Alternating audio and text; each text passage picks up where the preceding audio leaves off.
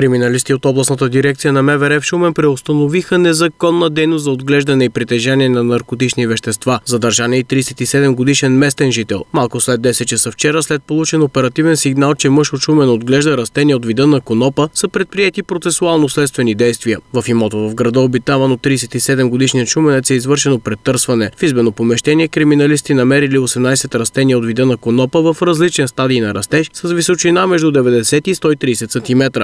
Пригоденото за отглеждане на канабисовите растения мазе било оборудвано с лампи, вентилатори, агрегати и таймери. От таванско помещение и прилежащо сервизно помещение са иззети общо около 3 кг суха тревна маса, която при направения полеви наркотест реагирала на канабис. 37 годишният мъж е задържан за срок до 24 часа, по случай е образувано досъдебно производство. Работата продължава под ръководството на окръжна прокуратура Шумен.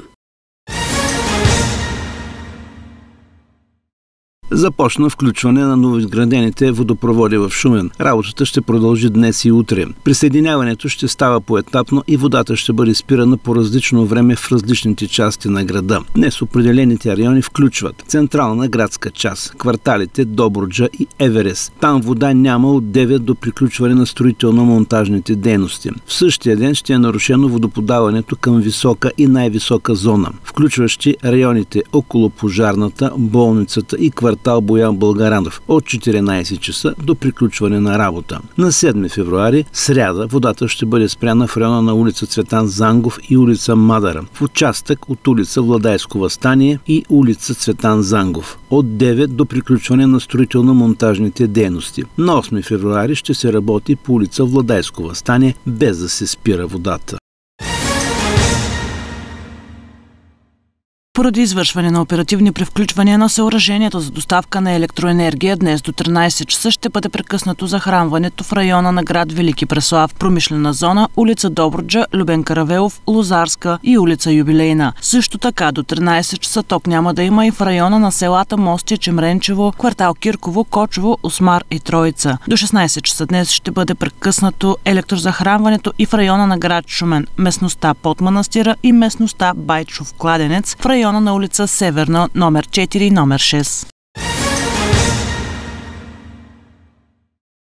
Ученици създадоха умни чорапи, които да следят къде се намират възрастните хора или такива с умствени заболявания. Момичетата от клуба по роботика към Шуменското средно училище Панайот Волов взимат при сърце идеята, защото имат и лична ангажираност с близки, които често са се губели. Учениците почти на един дъх успяват от няколко топки прежда да сътворят чорапите, украсяват ги и вече са провели успешно първите им тестове. Нашият проект е насочен към хората с мозъчни проблеми, като могат да бъдат деменция, аутизъм. Заехме се с този проект, който е свързан с тази сфера от хора, понеже смятаме, че точно в България тези хора са неглижирани от обществото и нямат толкова усилия към тях, които да бъдат полагани. Те нямат как да бъдат помогнати или трябва да се вложат много финанси към тях, за да бъдат по някакъв начин подпомагани.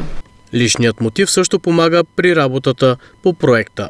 Нас ни вдъхнови да направим точно този проект, понеже имаме близки и познати с а, мозъчни заболявания и искаме да помогнем освен на тях и на техните близки. Идеята е проста – да се използва тракер, който да проследява местоположението на човека.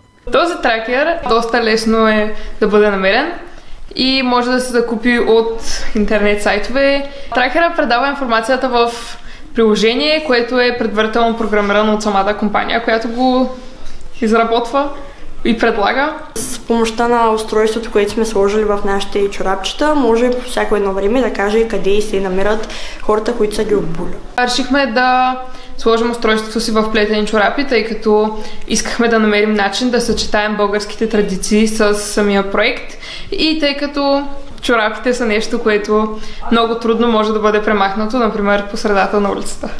Оказва се, че за модерните деца плетенето, което е характерно за техните баби, не е напълно чуждо. Знам да плета от моята баба и за това тук бях една доста а, помагаща може да се каже така.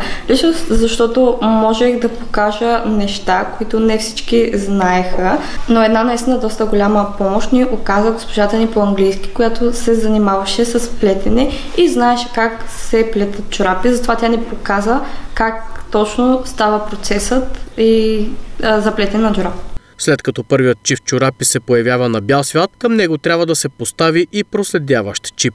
Ушихме чорапа и джоб към него, в който да пъхнем самия GPS тракер. Аз съобразих а, размера на джоба с самия, самата големина на GPS тракера.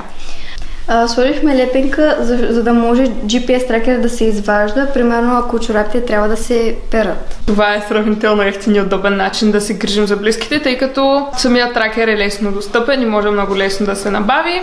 Първите тестове показват добри резултати, а момичетата се надяват, че скоро всеки ще може да се възползва от техният проект Умни чорапки. Православната църква почита паметта на Свети Фотий. Той е покровител на всички, чието имена съдържат светлина или нейн символ в името си. С ревностния си християнски дух светецът е завинаги свързан с българската история, защото именно патриарх Фотий убеждава Константин Философ да проповядва християнството сред славяните. Той пише изключително ценен исторически документ, обширно послание върху християнската вяра и живот, адресирано до българския цар Борис I. Имен ден днес празнуват хората, които носят имената Пламен, Огнян, Светлин и производните им.